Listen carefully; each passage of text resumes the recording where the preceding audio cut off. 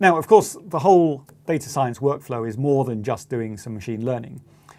And I want to show you a little bit about what you might do as a next step. Of course, one of the most, a lot of the work of the data science is the early steps of getting the import and reshaping the data and dealing with uh, bad data and missing data and all of those issues, but we don't have time to cover that in, in this video. But let's look at how you might deploy that model once you've created it, if you're doing more than simply your own personal research. So as an example, let's create another uh, classifier model. This time I'm going to take the survival, uh, the manifest of the Titanic and who survived and who died. So I'm going to build a quick classifier function of that.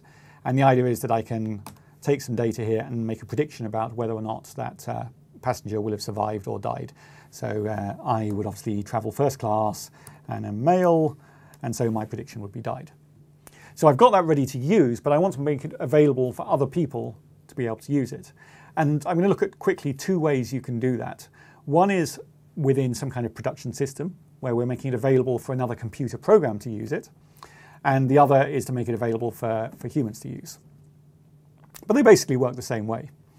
The idea is that within, uh, within the language, there's a way of describing APIs, application programming interfaces, that I can set up as a cloud-based RESTful web service. So here I've got the function, which is just to call my classifier. So this is the classifier I just built.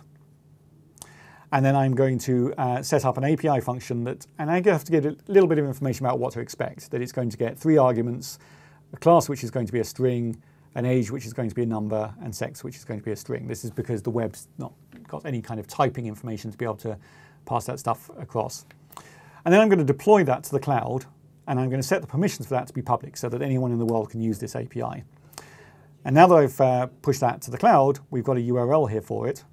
And we can go there and point a web browser at it, and you can see that we get some kind of JSON response that could be interpreted uh, by a computer program. And I, it's failed here because I haven't given it the parameters that I expected. So uh, it's giving me a failure message that I didn't give it the class, the age, and the sex.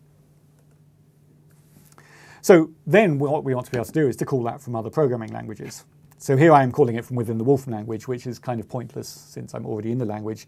But I can say execute on that URL that we just set up, this address, these values, and we get the same answer as we had a moment ago, except that now we're running it uh, remotely off this website. But of course, the real use for this is if we want to make it available to other programming languages. And so we have this uh, utility command here to take that and say, give me a snippet of Java that would allow me to do uh, Titanic survival classification from within Java language. So this is the code that you would need to make a web services call uh, to Java or to say, let's say, to C Sharp. Um, uh, so I can make these calls from various languages. Now, one practical way you might want to do that as well is through other applications that, and there are various programs that do know a little bit about being able to read from web services. Um, and those that don't can be set up to very often using their own APIs. So here, for example, is how you might deploy this to an Excel user. I've got a simple Excel spreadsheet here, uh, and I've got uh, my inputs as before, but this final cell here says call the Wolfram API, and here's the name that I gave it. And if you go back here, you can see that was the name that I gave it here. So that's how I'm referencing it. And telling it where the parameters come from. So now as I change this around, let's make this a 20 year old, I'm now able to do this uh, prediction within um, uh, within Excel, but behind the scenes what's happening is it's calling a website and asking it for the answer. The other way you might deploy it is simply straight to the end user. And the way to do that is almost identical. We have a concept of a form page, which is just like the API function, we have to tell it a little bit of information about what to expect. And in this case, I can specify a bit more like the choice of uh, options so that I get a slightly more optimized user interface and then the same function that it's going to run on this page is exactly this classifier that we just built, uh, except I'm going to add a bit of styling information to make it a 100 point font so that it looks decent on screen. So there's what the interface looks like. And then I deploy it to the cloud to give it a URL. It's made one up for me here because I didn't tell it where I wanted it to go. And now I can point anyone in the world to this web page and they can choose their class and their age and their sex and get their prediction out of that website. So the whole process of going from uh, the data to the classification to deploying it is not it's not something that you can do without some coding, but it's three four lines of code uh, for straightforward cases, and we've done a classification, built a machine learning classifier, pushed it to a website, and set up either web services or web pages that uh, allow us to access it and and deploy that to anyone we want.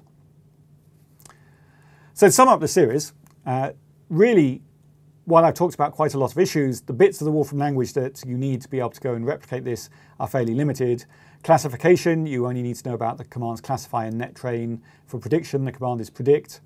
Sequence prediction, it's sequence predict. And feature extractor extraction is the main command within the unsupervised and cluster classify. You can find out more about those commands at reference.wolfram.com, where you'll find full documentation on the whole Wolfram language. And you can try some of these things out for free in the, in the Wolfram public cloud, uh, where you can just create an account and start doing uh, basic uh, machine learning right there in the web browser. Or get your hands on a license of Mathematica, install this on your desktop, and uh, use the full power of your own CPU. Thank you very much for listening.